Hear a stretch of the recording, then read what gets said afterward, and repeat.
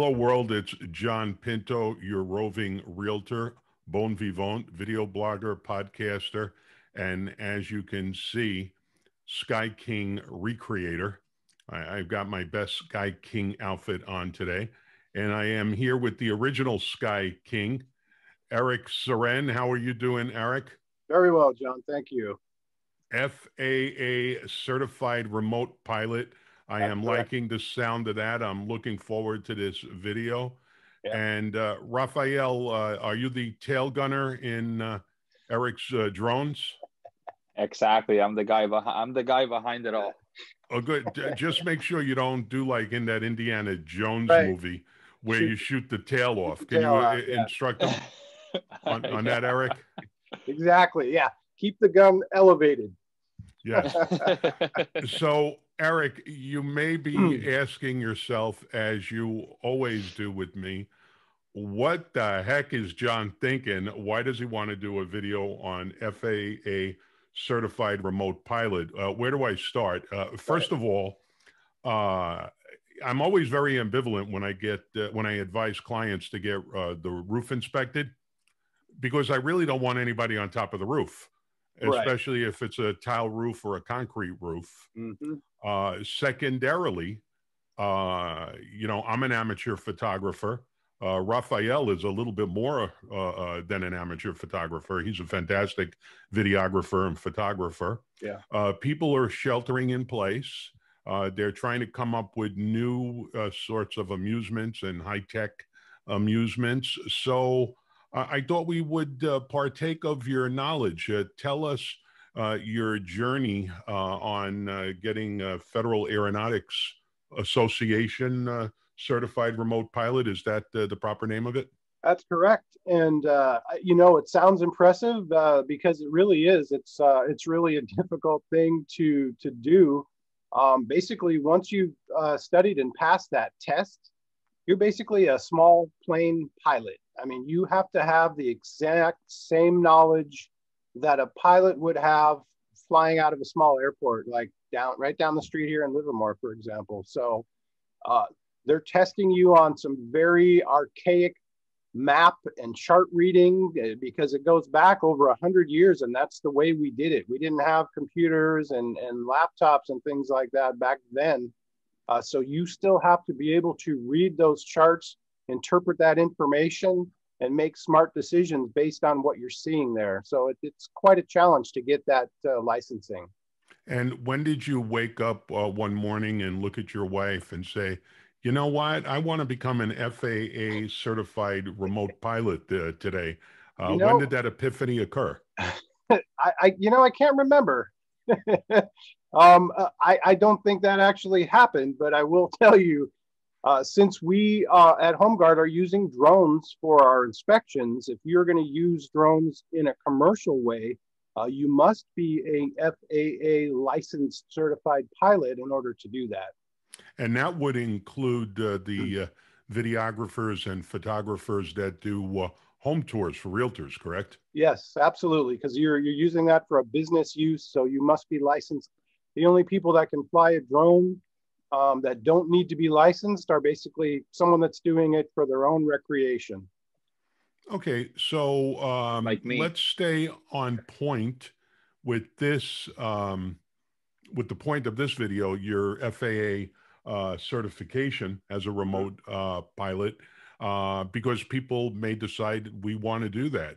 Hmm. Um, where do you study? How long do you have to study? Where do you take the test? Who conducts it and who certifies you? Okay. Um, we uh, have developed some online um, literature that we use to help study for the test. There's actually uh, books that we have that we use for uh, um, getting studied up to get certified for the FAA small pilot license. Um, and you know, you you have as long as they gave you lead time. Basically, you normally you have about a month uh, to study in between the other things that you're doing. Um, and as far as where you take the test, you actually go to an airport uh, to take the testing. Um, and you're going to be tested by a, a, pilot that's certified to give the examination. Um, this is a big thing to to get this certification. They're not just letting uh, some guy that you know weekends at the 7-Eleven give you um, traffic school. This is nothing like that. This is a real um, important uh, aspect of getting that licensing is getting certified by someone that the FAA recognizes as someone that can administer that test properly and turn that information into FAA so you do get certified. And uh, how long does that test take? Uh, they give you two hours, um, and you usually get through it in about half of that time. But um, it, I tell you what, it, it's a challenge. I did pass it the first time, um, but yeah, it's it's it's a real challenge to get through that, and not everyone can do it on their first try. It sounds like it may be similar to getting a motorcycle uh, certificate on your driver's license, or do you think it's more difficult than a motorcycle?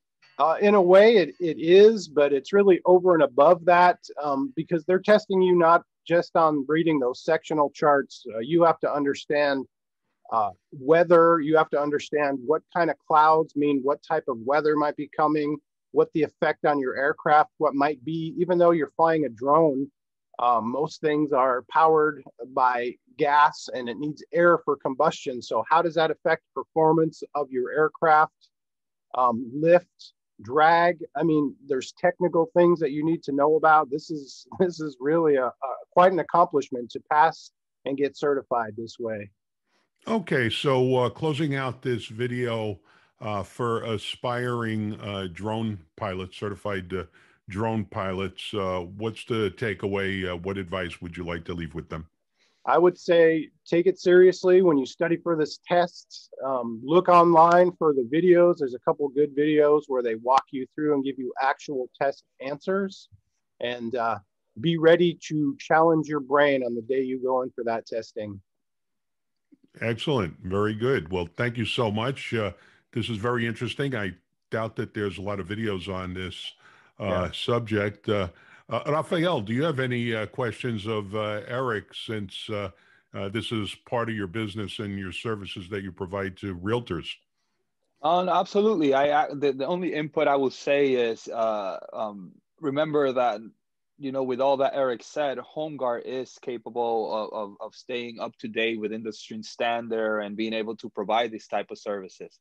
So th- this is why the home we trust the HomeGuard experience so much is because of uh, certifications like this and, and the capability of our inspectors. You know, um, we will use our drones to inspect chimneys and roofs and and and uh, um, all kinds of inspe- inspections needed um, with the proper technology up to uh, par with industry standards. So that, that's all I would t- I would say. Well, that was uh, highly interesting. I certainly do appreciate it. And uh, thank you all for tuning in, and we will see you on the next video.